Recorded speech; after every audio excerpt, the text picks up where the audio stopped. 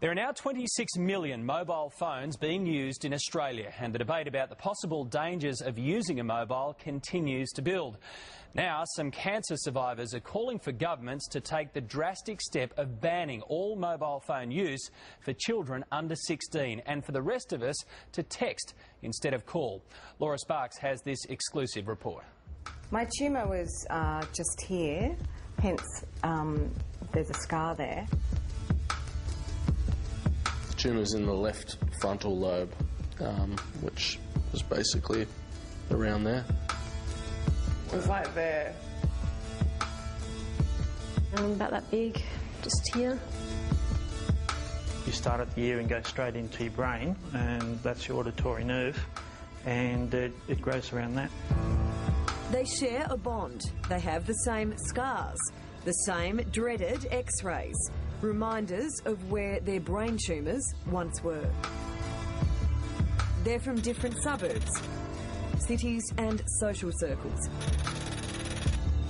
Yet they all got tumours near their ear. And they all blame the same thing. I'd use my phone about two hours a day. The area that it was was here, and I mean, you put two and two together. I believe it's a um, a lot of heavy mobile phone use. I just hope it's in my lifetime that um, phone companies are held accountable um, for this damage. Emily Sefton had the most to lose. She was diagnosed with a brain tumour when her son Jesse, now two, was just 11 weeks old. I was just devastated. I just remember dropping my son off to my mother-in-law and I just thought, you know, am I, am I going to see him again? The International Agency for Research on Cancer recently declared mobile phones as a possible cause of cancer. I feel vindicated in some respect. This latest admission doesn't surprise former mobile phone salesman David Smith. He first spoke to Today Tonight three years ago. So, David, the tumour was just here, is that right? Behind your ear? That's right, behind my right ear. Lately, there's been conflicting reports about mobile phone use. Some saying they do pose a risk, others saying there's no problem at all. But in the fine print of the World Health Organisation's latest report, it states that heavy users of mobile phones, now that's people that use mobile phones for half an hour a day for more than 10 years, triple their risk of getting a brain tumour. I just would hate for people watching this right now in 10 years' time to go far out. Why didn't I take note? Why didn't I listen? I honestly believe that I'm in this position right now with this tumour because I've overused my phone. Last year, we filmed Anna Tarrant's tumour removal.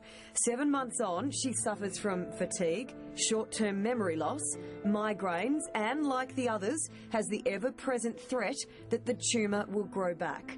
Christian Giorgio had his tumour cut out nine months ago. What worries do you have? That it's it's going to become an, another epidemic. There were others who couldn't make our filming. Aaron Rose suffered a seizure that night. Truey Bottoms had chemotherapy that day. And then there's former television producer Romaine Udale. Well, yeah. it's a new club, which unfortunately I'm part of. She had to go into surgery the day before we filmed because the tumour, taken out seven months ago, had already started to grow back. If someone had told me that years ago, I would have welcomed that in information and not abused the mobile. Having emerged from round two of brain surgery, Romaine, now an executive coach, is keen to get the message out. Okay, I'm going to time myself today. How many minutes have I been on the mobile phone? With no cure available for brain tumours, neurosurgeon Charlie Teo is worried about the possible link. We're seeing the increase in frequency of tumours in the insular region, which is this region right here, the temporal lobe, the frontal lobe. So it's right there where you hold your phone. Another neurosurgeon, Richard Bitar, advises to text or only use a mobile on speakerphone. And he has this warning for parents. It's a pretty big gamble to let a child use a mobile phone at this point in time. And it's this message that these four brain tumour sufferers want to lobby government about. I just want parents to be more aware of radiation and the possible effects it can have on their child's brain. For any child under 16, they should only be able to text unless they're calling triple zero or their parents. I mean, don't taste, take the risks with mobile phones. We don't know what they're doing yet. I would have definitely lessened my mobile phone usage if I could have turned back the clock.